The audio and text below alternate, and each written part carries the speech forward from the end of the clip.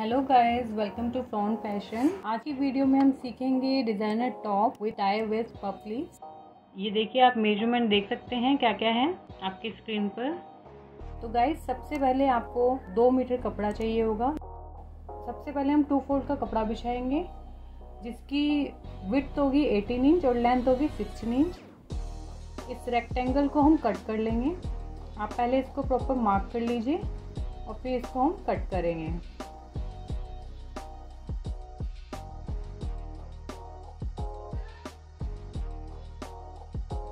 ये हमने कट कर लिया है। अब इस पर हम अपने फ्रंट टॉप का निशान लगाएँगे। सबसे पहले साढ़े ग्यारह इंच पर आप निशान लगा लीजिए। ये साढ़े ग्यारह इंच पर निशान लगा के स्ट्रेट लाइन बना दीजिए। ये बन गई है। इस साढ़े ग्यारह इंच वाले पॉइंट से हम सात इंच का शोल्डर का निशान लगाएँगे और फिर सात इंच की आर्म होल की लेंथ भी लेंगे। अब एक बॉक्स ड्रॉ कर देंगे। और इसमें हम आर्म होल का कर्व भी बना देंगे। अब सबसे पहले नेक लाइन की चौड़ाई लेंगे ढाई इंच पे और इसकी लेंथ लेंगे छः इंच पे सिक्स इंच पे।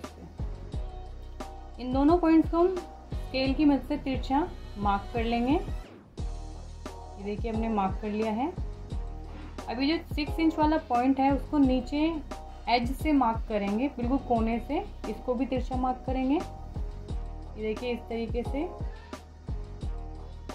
अब हमें ये आर्म होल और ये जो हमने तिरछा निशान लगाया, वो कट करना है। सबसे पहले आर्म होल कट करेंगे और ये भी तिरछा निशान हमने कट कर दिया है। इसमें जो ये स्ट्रेट लाइन थी, वहाँ पर एक पॉइंट पे कट लगा देंगे। ये आगे हमारे काम आएगा।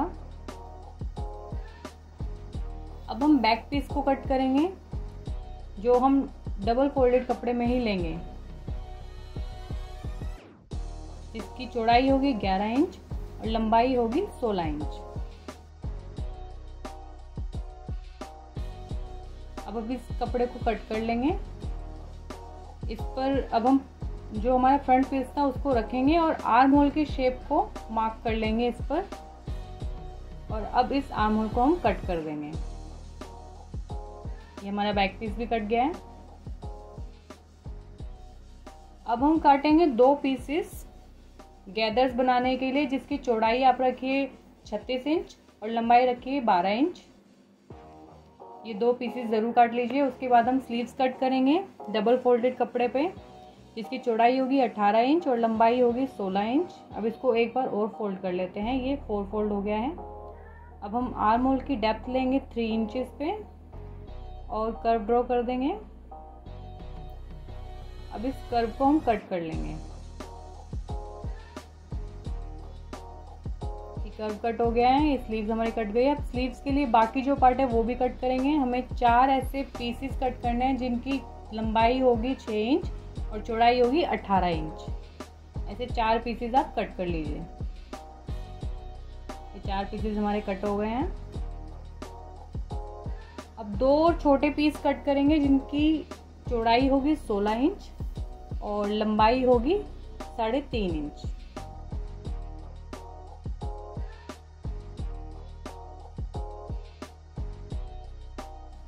कट कर लीजिए। अब हम सबसे पहले नेक लाइन के लिए बाय स्ट्रिप काटेंगे। इस कपड़े को तिरछा रखकर साइड में से कट कर दीजिए। और ये कपड़ा जो हमारा निकला है, इसमें तिरछा जो साइड था, उधर से आपको तीन इंच का मार्क लगाना है, तीन इंच की चौड़ाई पर।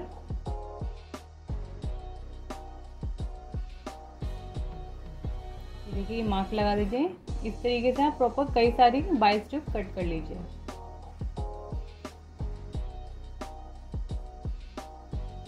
ये देखिए हमने तीन चार कट कर लिए क्योंकि हमें नेक लाइन के लिए चाहिए। अब हम इन सबको स्टिच कर लेंगे ताकि एक पूरे एक लंबी वाइट स्ट्रिप बन जाए। इस तरीके से आधे इंच की मार्जिन के साथ आप इसको स्टिच कर लीजिए। ये स्टिच हो गई, देखिए, ये पूरी हमारी एक लंबी वाइट स्ट्रिप बन चुकी है। अब हम अपना फ्रंट पीस लेंगे। ये जो तिरछा लाइन है, इस पर हम बाई स्टेप रखेंगे और इसको स्टिच कर लेंगे। इसको एक पैर की सिलाई से आप स्टिच कर लीजिए। ये देखिए, हमने मार्क कर दिया है ताकि इजी रहे। इसको और दूसरा जो पीस है, उसको भी हम इसी तरीके से स्टिच कर लेंगे। देखिए, ये हमारा स्टिच हो गया है। जो भी एक्स्ट्रा हमारा बाई स्ट्रिप आ रही है, उसको कट कर लेते हैं।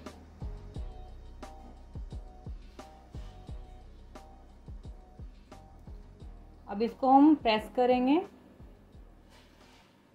फ्रंट एरिया से ये इस तरीके से आप प्रेस कर लीजिए, ताकि अच्छे से बैठ जाए। दोनों पीसीस को कर लीजिएगा।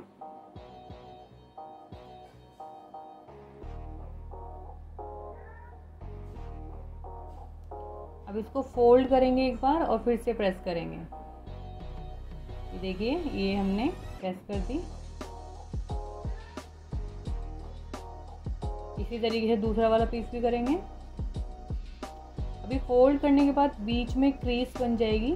फोल्ड करने के बाद एक बार और बीच में फोल्ड करेंगे और उस पर भी प्रेस कर देंगे। इस प्रेस करने से हमें हेल्प मिल जाती है और ये बाई स्ट्रिप अच्छे से इस पर बैठ जाती है। देखिए, हम पिनअप कर रहे हैं। ये हमने पिनअप कर दिया है। अभी फ्रंट एरिया पे, ये फ्रंट एरिया है। बिल्कुल बाई के ऊपर ऊपर हमें स्टिचिंग करनी देखिए स्टिचिंग हो गई है फिनिश हमने निकाल दी है। ये दोनों पीसेस स्टिच हो गए हैं। अब दोनों का जो हमने कट लगाया था सेंटर कट सेंटर पॉइंट उसको एक दूसरे मिलाएँगे और इसको पिनअप कर देंगे।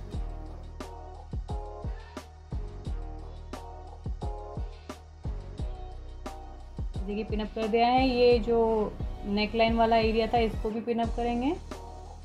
ऊपर तक।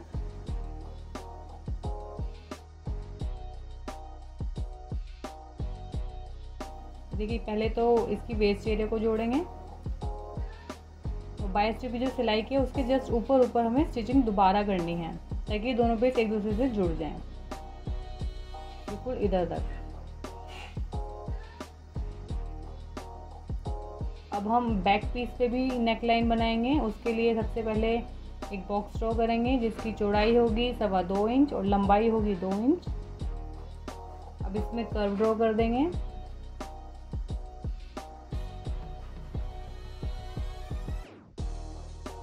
इस कर्व को कट कर लेंगे। अब जो हमने बाई स्ट्रिप काटी थी, उसको थोड़ा, उसकी चौड़ाई कम कर लेंगे और उसको नेकलाइन से स्टिच करेंगे। देखिए इस तरीके से। पूरा स्टिच कर दीजिए। ये स्टिच हो गया है। नेकलाइन हमारी दोनों रेडी है तो अब नेक्स्ट स्टेप है शोल्डर्स को ज्वाइन करना। ये हमारा बैक पीस है, इस पर हमने फ्रंट पीस रख दिया। और ये शोल्डर्स हैं। इनको हाफ़ इंच के मार्जिन से आप इसको स्टिच कर दीजिए। देखिए स्टिच हो गया है। अब जो बैक पीस का बाय स्ट्रिप थी, इसको हम फोल्ड करेंगे। देखिए, इस तरीके से। ये ऐसे दिखेगा। फिनिशिंग के साथ आता है, इसको ऐसे आप हमेशा फोल्ड करें। इस पर पिनअप कर लीजिए, ताकि वो इजी रहे आपको स्टिच करते हुए।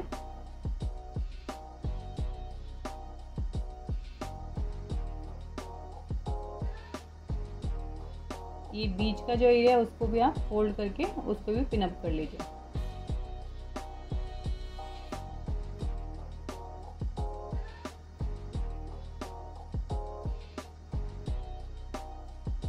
इसको आप बिल्कुल एज पे स्टिच कर लीजिए। ये स्टिच हो जाएगा। उसके बाद हमें जो गैदर्स वाला हमने कपड़ा काटा था, उसको लेंगे, उसका सेंटर पॉइंट कट करेंगे। सेंटर पॉइंट इसलिए ताकि जो हमारा टॉप का ऊपर का एरिया है, उसको, उसका सेंटर पॉइंट और इसका सेंटर पॉइंट ज्वाइन कर सकें। अब एजेस को भी जोड़ेंगे, उस पर डेढ़ इंच का मार्क लगा देंगे। वो डेढ़ इंच मार्जिन है, उधर हमें स्ट्रेट सिलाई करनी है। बाकी हमें ये गैदर्स डालने हैं, इस तरीके से प्लीट्स डालते हुए पूरा सिलाई कर लेना है दोनों तरफ़। ये देखिए स्टिच हो गया है। इस तरीके से दिख रहा है। अब हम स्लीव्स को ज्वाइन करेंगे। स्लीव्स ले लेंगे और आर्म होल पर हम इजीली इसको स्टिच कर देंगे पूरा। स्लीव्स भी जुड़ गई हैं। अब हम जो हमारा टॉप है, उसको उल्टा करेंगे और डेढ़ डेढ़ इंच का मार्जिन लगाएँगे साइड में। ये फिटिंग का मार्क लगा रहे हैं हम। और एक इंच का स्लीव्स में निशान लगाएँगे। पूरे को मार्क कर लेंगे। दोनों तरफ़ इस तरीके से निशान लगा देंगे। और एक फिटिंग के मार्क पर स्टिचिंग कर लेंगे हम। इसे स्टिच कर लीजिए। देखिए स्टिच कर दिया, ये हमने सीधा कर लिया, इस तरीके से ये दिखेगा। अब नीचे का जो एरिया है, उसको आप डबल फोल्ड कर लीजिए एक इंच के मार्जिन से स्टिच कर लीजिए। ये देखिए हमने कर दिया है। जो हमने चार कपड़े काटे थे स्लीव्स के लिए उनको उठाएँगे, उनको फोल्ड करेंगे और साइड में एक एक इंच का मार्जिन का मार्क लगाएँगे। देखिए इस तरीके से।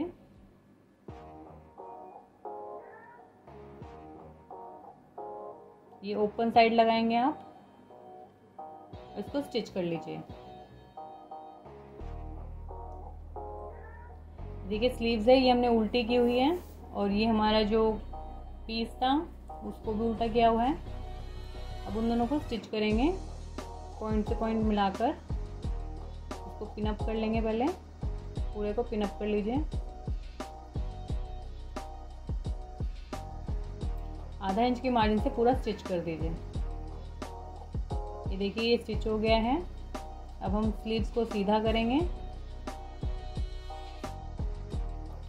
अब इस कपड़े पर हम एक इंच का मार्जिन लगाएँगे, जहाँ पर स्टिच किया उससे नीचे एक इंच का पूरा मार्जिन लगा देंगे। देखिए, लगा दिया है। अब इस कपड़े को फोल्ड करेंगे। देखिए फोल्ड कर दिया है। अब जो एक इंच का मार्जिन है, उस पर हम स्टिचिंग कर देंगे पूरे में। देखिए स्टिच हो गया है। ये इस तरीके से दिखेगा। ये उल्टी स्लीव्स हम सीधी करके दिखाते हैं, कैसे दिखेगा आपको। देखिए इस तरीके से दिखेगा। सेम स्टेप अब दूसरे, दूसरा जो एक और पीस था उसके साथ भी फॉलो करेंगे। ये दो दो पीस एक एक स्लीव्स पे लगेंगे। देखिए, लग चुका है। अब हमने छोटे दो पीस काटे थे, सोलह इंच की चौड़ाई और साढ़े तीन इंच की लंबाई के साथ। उन पीसेस को लेंगे। अब पहले जो स्लीव्स का थोड़ा सा जो धागा है, उसको हटा देंगे। ताकि ये हम जो ये हमारा मोरी है, उसको ईजिली बना सकें। ये उधेड़ दिया है, अब वो पीस को उठाएँगे, उसको डबल फोल्ड कर देंगे। इस पर स्लीव रखेंगे और ऐसे प्लीट्स डालते हुए पूरा स्टिच कर देंगे। ये देखिए, ये स्टिच हो गया है। अब ये जो पीस था, इसको फोल्ड करेंगे बिल्कुल इन प्लीट्स के ऊपर और इसके एज पर सिलाई कर देंगे फोल्ड करते हुए। देखिए, वो भी हो गया है। अब हम क्या करेंगे?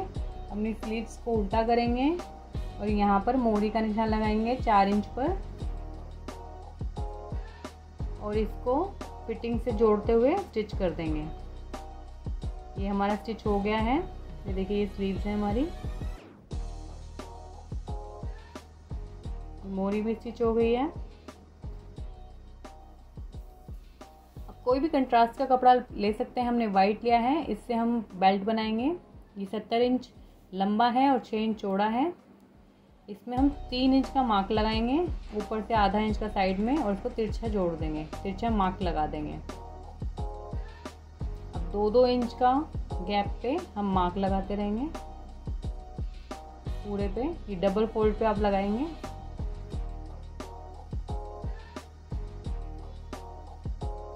देखिए जैसे हमने स्टार्टिंग में किया था, वही तीन इंच का मार्क आधा इंच का, फिर उसको तिरछा जोड़ देंगे। आठ इंच की लंबाई तक आप उसको सील दीजिए, बाकी रहने दीजिएगा। और ये स्टिच हो गया, अब इसको एक्स्ट्रा को हम कट कर देंगे। अब इसको उलट लेंगे।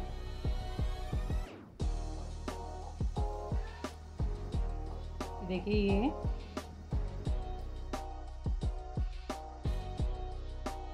उलट गया है, दोनों दोनों तरफ़ का हम उलट लेंगे।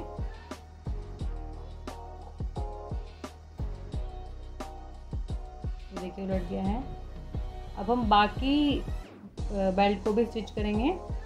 जो मार्क लगाया था उसके उसके अलावा अंदर सारा कपड़ा कर देंगे और ऊपर से स्टिच कर देंगे। पूरा। ये देखिए हमारी बेल्ट तैयार हो गई इसी तरीके से। अब हम अपना टॉप लेंगे और उसका फ्रंट पीस दिखाएँगे पहले। ये फ्रंट पीस है। इसका सेंटर मार्क लगाएँगे। ये सेंटर मार्क है। और बेल्ट पर भी सेंटर मार्क लगाएँगे।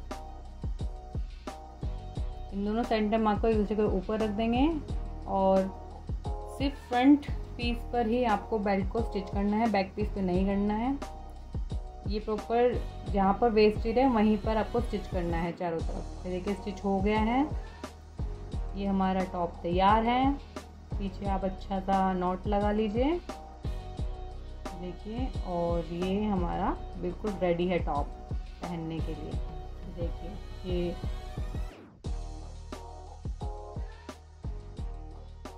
ऊपर से हम दिखा रहे हैं कैसा दिख रहा है, ये देखिए। Thanks for watching